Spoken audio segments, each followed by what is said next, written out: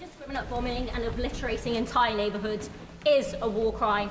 Collective punishment and starving a population of necessities is a war crime ordering 1.1 million people to leave their homes and forcibly displacing them. That is a war crime as well. Mr Speaker, I absolutely condemn Hamas's killing of Israeli civilians and I echo the calls for the release of hostages, but that does not excuse war crimes. And merely saying international law should be followed when it is clearly not being followed is an insult. So, Prime Minister, I ask, How many more Palestinians must die before the Prime Minister condemns Israel for violating international law and calls for an immediate ceasefire? Prime Minister. Miss, Mr. Speaker, as I've been very clear, we support the Palestinian people because they are victims of Hamas too.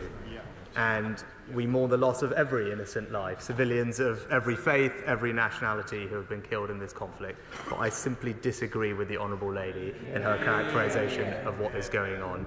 There is a significant difference between a terrorist organisation that deliberately and specific, specifically targeted the killing, mutilation, and murder of innocent civilians, including children and women uh, and babies, uh, a couple of weeks ago, and, um, and Israel's lawful right to defend itself and go after those perpetrators.